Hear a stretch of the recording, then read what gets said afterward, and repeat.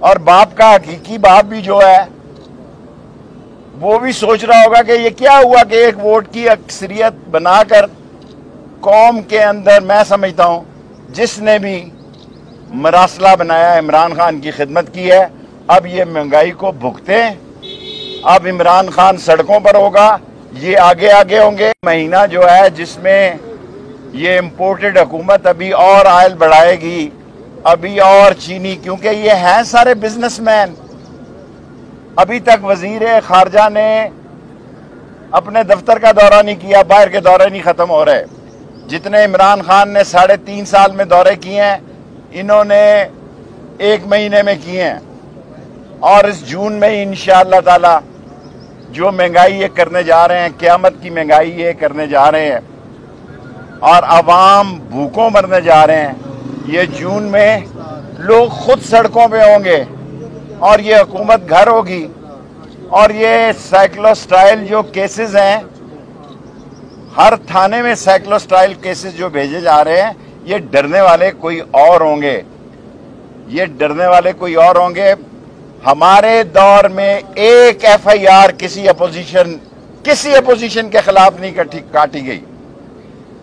और ये सारे अपोजिशन वाले चू चू का मुरबा जो है एम क्यू एम मेरी मेयर हो गया एम क्यू एम का मुबारक हो गवर्नर हो गया एम क्यू एम का मुबारक हो, दफ्तर उनके खुल गए हैं, वहाँ शादियाने बज रहे हैं, मुबारक हो, और बाप का हकीकी बाप भी जो है, वो भी सोच रहा होगा कि ये क्या हुआ कि एक वोट की अक्सरियत बनाकर कौम के अंदर, मैं समझता हूँ, जिसने भी मरासला बनाया, इमरान खान की खिदमत की है।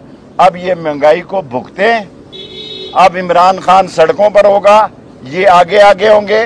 और जो ये मुझ पर इल्ज़ाम लगा रहे हैं, जो कुछ 25 तारीख को इस्लामाबाद में हुआ है, दुनिया में उसकी मिसाल नहीं मिलती।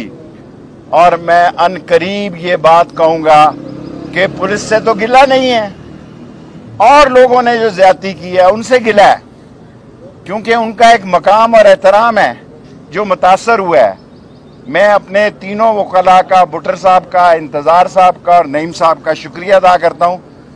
और राना सनाउल्ला जब जब केस बनाता रहेगा, मैं नहीं कहता, शेर अली कहता है, बाईस अफराद का कातिल है।